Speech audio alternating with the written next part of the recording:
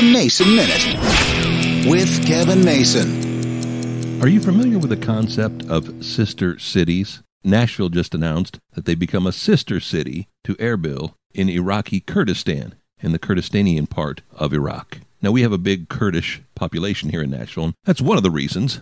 But for the life of me, I've heard about sister cities in darn near every city I've ever lived in, but I don't know anything about them. What's the point? When I looked it up today, Nashville actually has 10 sister cities.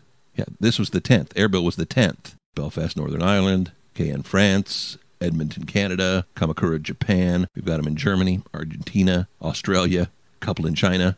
And I just wonder why. I mean, I understand it's in the spirit of cooperation, it's in the spirit of connecting in some way, but I don't understand why you need 10 sister cities. And what do we get from them and what do they get from us? I'm just kind of curious. I truly don't understand. I've been hearing about sister cities my entire life, and to this day I can't tell you what's the point.